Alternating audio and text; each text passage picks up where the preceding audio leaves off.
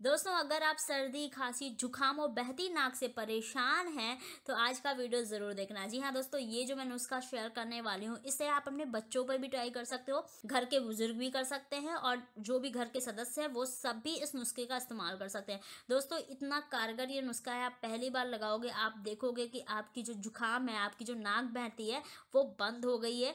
आपको खांसी अगर लगातार आ रही है तो खांसी भी बंद हो जाएगी और रात में इस नुस्खे को कर लोगे, क्योंकि सर्दी लगने के बाद रात में हम देर रात तक जगते रहते हैं, हम सो नहीं पाते। उस टाइम अगर ये नुस्खा कर लेंगे, आपको नींद भी बहुत अच्छी आ जाएगी। जी हाँ दोस्तों, आज का बहुत ही यूजफुल नुस्खा होने वाला है आपके लिए। दोस्तों, आप सभी का स्वागत है मेरे चैनल पर। मैं हूँ आपकी दोस्त श्रुति गुप्ता। तो चलिए आज का ये वीडियो स्टार्ट करते हैं। दोस्तों वीडियो बहुत ही यूजफुल है, इसलिए लाइक एंड शेयर करना। और पहली बार चैनल पर आए तो चैनल को सब्सक्राइब कर लेना। तो दोस्तों, यहाँ पे उपलब्ध है मेरे पास ये ये जो है, ये है सरसों का तेल, यानी मस्टर्ड ऑयल जी हाँ बड़ी आसानी से आपको किचन में मिल जाएगा। कहीं जाने की ज़रूरत नहीं है। बस आपको इसी एक चीज़ का इस्तेमाल करना है। बट आपको कैसे इस्तेमाल करना है, यही मैं आपको बताने वाली हूँ। बिल्कुल सरल सी चीज़ है, सरसों का तेल हर घर में ही उपलब्ध होता है। दोस्तों, सरसों के तेल की तासीर गर्म होती है और अगर हम इसकी मालिश अपनी बॉडी पे करते हैं तो इससे हमारी जो बॉडी है, वो पूरा दिन हीट रहती है। उसमें गर्माहट है, वो बनी रहती है। ब्लड सर्कुलेशन बहुत अच्छी तरह से वर्क करता है गर्माहट की वजह से। सर्दियों में सरसों का तेल का ही इस्तेमाल करना चाहिए, खासकर शरीर की मालिश के लिए। आप इसे बालों में भी अप्लाई कर सकते हैं। इससे हमारे बाल भी ना बहुत ही सॉफ्ट बने रहते हैं और जब बालों में को हीट मिलती है, गर्माहट मिलती है तो उसकी ग्रोथ भी बढ़ती है। बट हम लोग बाकी बातें बंद करते हैं, जो मेन नुस्खा है, उस पर आते हैं। तो आपको लेना है सरसों का तेल। अब आप इसको यूज़ कैसे करना है? आपको क्या करना है? सरसों का तेल लेना है। बिल्कुल थोड़ा सा आपको सरसों का तेल लेना है। और बच्चे, बूढ़े, बुज़ुर्ग, किसी के भी पैर में, यानी तलवे में, दोस्तों, सर्दी जो होती है, जो हमें सर्दी लगती है, वो तलवे से ही लगती है। जी हाँ दोस्तों, ये साइंटिफिक रीजन है।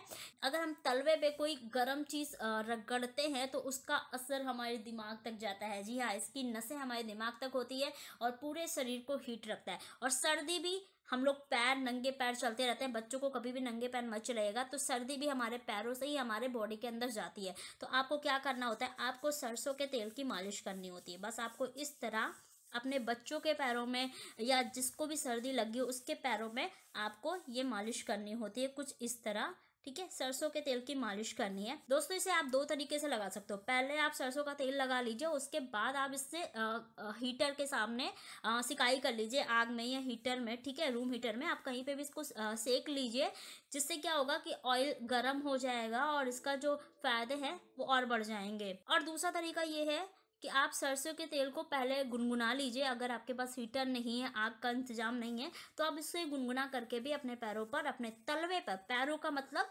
तलवों पे ही अप्लाई करना है। आप अपने दोनों पैरों के तलवे पे इस तरह अप्लाई करेंगे। आप जब इसे अप्लाई करोगे, इसकी मसाज करोगे, आप देखोगे कि आपके हाथ और पैर दोनों गर्म हो जाएँगे। जी हाँ दोस्तों, ये गर्म हो जाएँगे। इस तरह हमें अप्लाई करना है। दोस्तों, इसे मैंने गर्म नहीं किया, इसलिए इसे कुछ सेकंड के लिए 10 से 20 सेकंड मैं इसको गर्म कर लूँगी, यानी अपने पैरों को सेक लूँगी रूम हीटर में, और उसके बाद आपको एक काम करना है। इसके बाद आपको पहन लेने हैं मोजे। जी हाँ इसके बाद कुछ इस तरह आप मोजे लेकर पहन लीजिए।